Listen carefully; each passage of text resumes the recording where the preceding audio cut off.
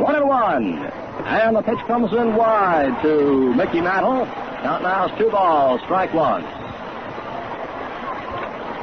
Mickey Mantle in his fifth All-Star game. Switch hitter batting right-handed against Southpaw Warren Spahn. Two balls and a strike. Here comes the pitch. And it's a swing and a miss as Spahn changed speeds on him that time, two and two. Here's the pitch, and there's a foul in the dirt behind home plate. Lawrence of Cincinnati, Brooks Lawrence, and Johnny Antonelli of New York are warming up now for the National Leaguers in the bullpen out there in left field, out in front of the seats, enclosed by a fence. It's two and two. Here's the windup, and Spahn comes in with a curve, and there's a long drive to deep left center field. It is home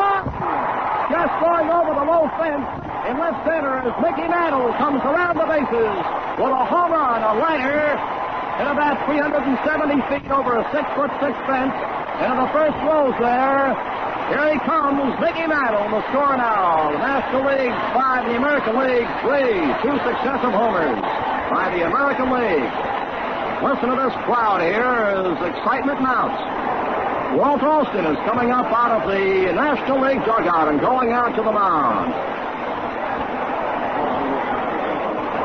Mickey Mantle limping just a bit as he came around the bases, but you don't have to run fast when you get them in the seats.